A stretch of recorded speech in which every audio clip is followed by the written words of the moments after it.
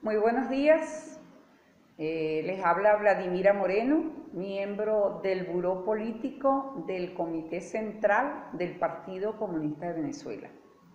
Hoy hemos hecho un balance breve, porque los acontecimientos están muy recientes, con nuestros camaradas del Frente Nacional de Lucha de la Clase Trabajadora de Venezuela, de la Central Unitaria de Trabajadores de Venezuela, de algunos compañeros, compatriotas de diferentes organizaciones que han venido trabajando unitariamente en la conformación de ese frente amplio de lucha en función de recuperar nuestras conquistas históricas como trabajadores y como trabajadoras de Venezuela. Ese balance nos llena de satisfacción. ¿Por qué? Bueno, porque hemos ganado una batalla, no hemos ganado completamente este, toda la lucha que nos proponemos porque tenemos que derogar el instructivo de la ONAPRE. No nos olvidemos de eso, no nos vamos a, no nos permitamos que el hecho de la conquista del pago del bono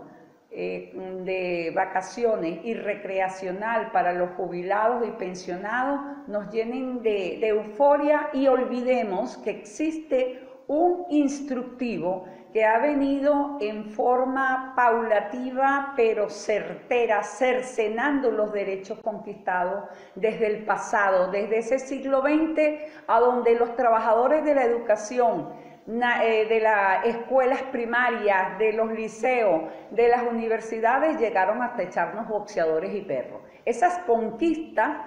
costaron sangre, ¿verdad? Y fuego a nuestros trabajadores y no vamos a permitir de que hoy nos las cercenen. Tenemos que darle ese reconocimiento también a nuestros jubilados, a nuestras jubiladas, que con toda la situación del alto costo de la vida, del alto costo de las medicinas, que es también lo que nos impulsa a manifestar públicamente, han participado activamente en estas movilizaciones.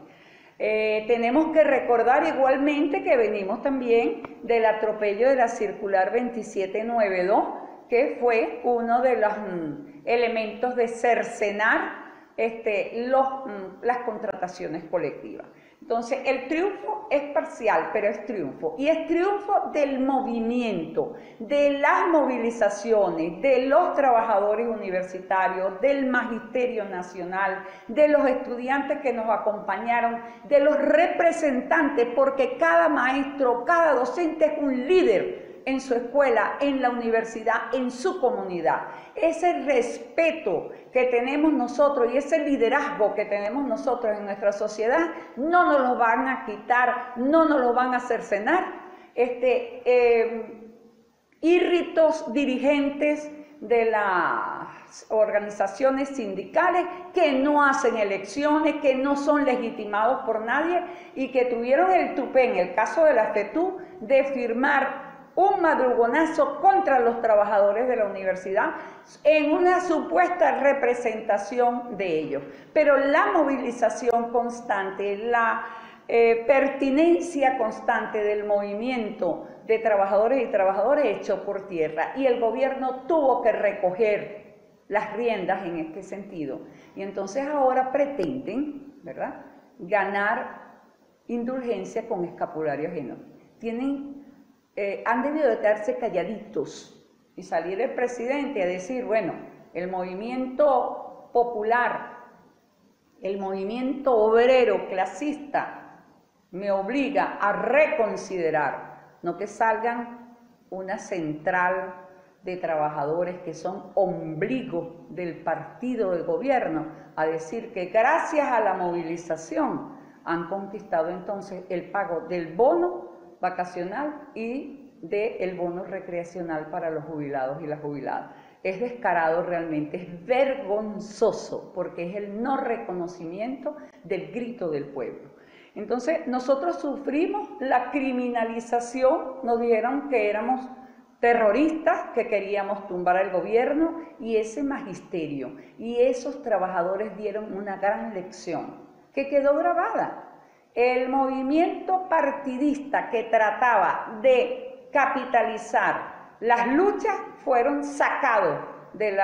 eh, de las movilizaciones, de las asambleas, porque los trabajadores, este pueblo ha adquirido conciencia y los trabajadores saben que solamente con la unidad de acción de todos, indistintamente de nuestro pensamiento, indistintamente de nuestros partidos que son legítimos a donde pertenecemos, pero en la lucha de las organizaciones, en la lucha de eh, mantener la esperanza del pueblo y de impulsar eh, las conquistas reivindicativas, debemos dejar de lado los partidos para abocarnos conscientemente, que eso no quiere decir que no tengamos conciencia de clase, hacia la reconquista de nuestro, nuestras ah, reivindicaciones plasmadas en nuestras diferentes contrataciones colectivas. De tal forma que hoy los que se abrogan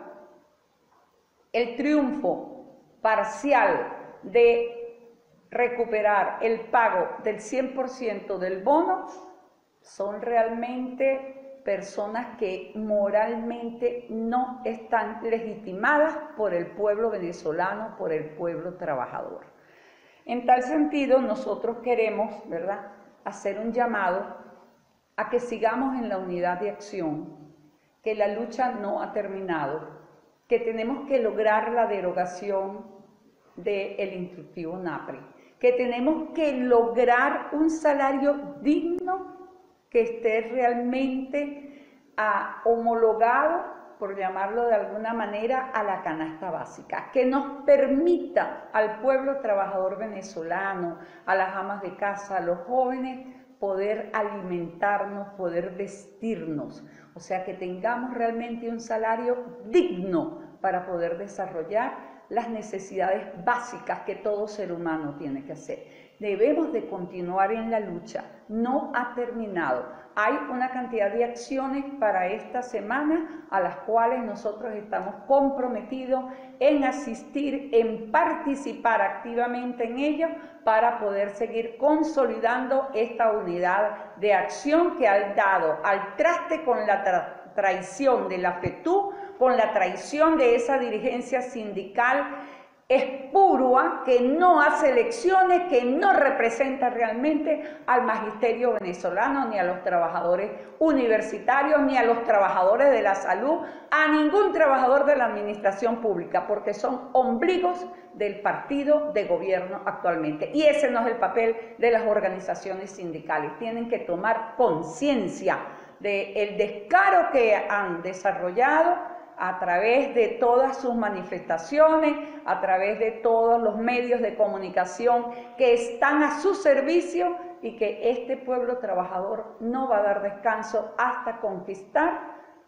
sus reivindicaciones, sus contrataciones colectivas y el respeto que se merece, porque es el pueblo trabajador quien mueve el motor de la economía en cualquier país, en cualquier sociedad. Muchas gracias.